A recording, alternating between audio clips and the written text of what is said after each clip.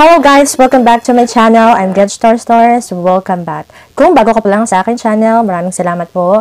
Just click the subscribe button and the notification bell para paragi po kayong updated sa aking mga bagong videos. So, ikaw ba yung taong nagtataka bakit yung ibang mga kahit zero subscribers or small YouTuber or kahit hindi vlogger ay nagkakaroon ng PR package. So, kung gusto mo malaman, keep on watching.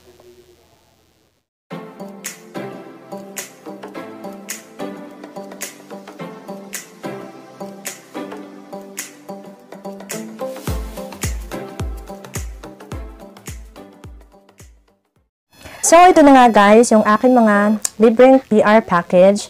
Actually, first time ko to, kaya konti pa lang, tatlo lang, tatlong piraso lang to, which is the Bello, Bello Intense White. Yan, pamputi ng ating kili-kili.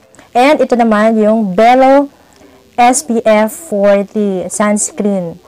Bello SPF PA+++ 40 um, face, for, for the face, sans, Sun Expert or sunscreen. Ito ay non-sticky, non-comedogenic, anti-aging, paraben-free, and siya ay UVA, UVB, broad spectrum. Kung mabibili nyo to sa mga sa mga Watson, siya ay nagkakalaga ng 150 pesos to 180 pesos. And ito naman yung Bello Intense White na deodorant, roll-on siya, kakalaga ng 104 75 pesos. Ano siya, um, 40 ml, ganyan. So, nakuha lang natin siya ng free. And, meron pa tayong isa, which is the Simple Micellar Cleansing Wipe. Ano lang siya, dahil sample lang siya, ano, ilang piraso lang to, one wipe lang to.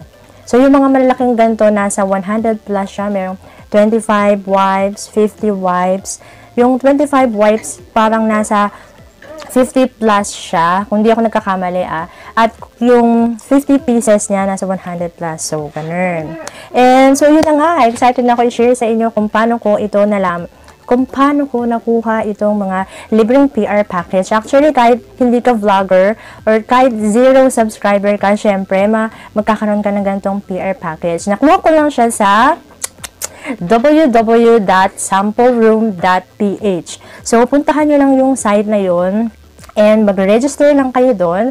Lagay nyo yung name nyo, ganyan, may username, tapos password. May mga pasasagatan sa inyo doon kung anong type ng skin mo. Kasi meron doon mga for skin care, for hair care, meron siyang for body care. Marami ka talagang pagpipilian. Actually, ikaw yung mamimili ng PR package mo na ipapadala sa'yo. Ay ako, ito yung gusto ko talaga matry.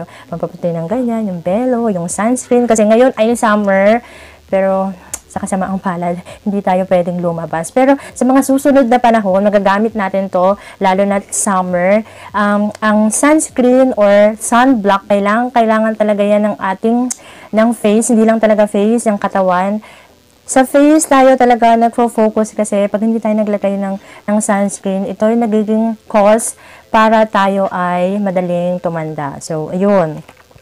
Ang ano nila dito sa sampleroom.ph, use it before you buy it. So, ganyan. Ang naging guidelines nila dito ay, yun nga, bibigyan, uh, pagkatapos mo mag-register, bibigyan kanila ng 100 points. Yung 100 points na yun, yun yung gagamitin mo para mag-purchase nitong mga sample. For example, nakuha ko ito ng 40 points ata. Hindi ako magkaka nagkakamali. 40 points. Tapos ito ay 30 points. Basta mga ganun. So, hindi ko na kasi matandaan. Basta dun sa 100 points ko, ang natira na lang sa akin ay 5 points. Ito, ang natatandaan ko, ito ay 10 points lang or 5 points. My goodness, hindi ko talaga matandaan. Basta natira na lang sa 100 points ko ay 5 points na lang. So, um, paano ba yung ang rules nila nito. After mo siyang gamitin, after mo, for example, itong, hindi ko pa siya nagagamit kasi meron pa akong isang, isang product na ni-review din. So, hindi naman pwede sabay-sabay na ilagay ko sila sa kilikili ko. So, for example, itong Bello Intense White na to, Siyempre, kailangan mo muna talaga siyang gamitin, okay? Para malaman mo kung ano talaga naging effect sa'yo. Kailangan maging honest tayo dito. For example, ito ay 40 points meron, meron dong nakalagay for review, ganyan-ganyan. Meron silang mga guidelines kung paano mo siya i-review. Hindi naman kailangan i-upload mo siya sa YouTube or whatever. Magsusulat ka lang kung ano yung kung ano yung mga effects sa'yo, yung mga, basta yung review mo. At meron silang guidelines kung paano yung tamang pag-review doon.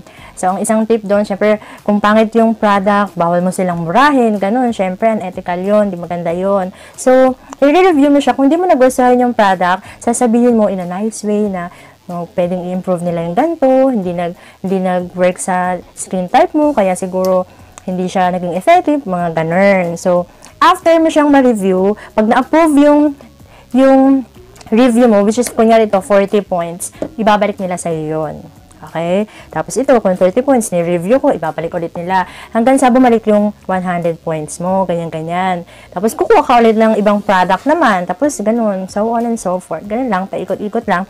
Pero meron din silang mga VIP doon. For example, yung 1,000 points, pwede mong bilihin sa kanila. Ito pwede na bilhin 600 pesos, 600 plus lang. Doon sa VIP na um, VIP na points na yon yung mga, alam niyo yung mga worth ng mga product na is 500, makukuha mo lang siya ng yung 1,000 points mo. In short, marami ka nang makukuha na magagandang product. At yung iba, mga expensive na product na alam mo yun, minsan ang hirap-hirap bilhin.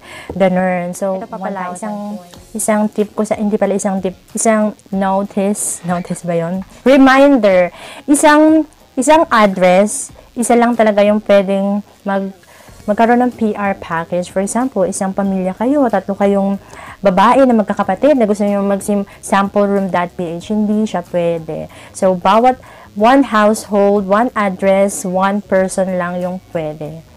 Yun nga, yun nga yung, kasi kailangan dun sa sample room.ph, marami silang mga guidelines susunod, babasahin nyo lang talaga siya and susundin nyo. And ito pag isang reminder, ito ay, di ba ipapaship nila yon sa'yo? Meron, ikaw magbabayad ng shipping fee niya.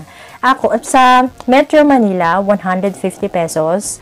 Sa, yung Luzon, kasi kami, Rizal kami, so mga 170 pesos yung aking binayaran. And, ayun lang.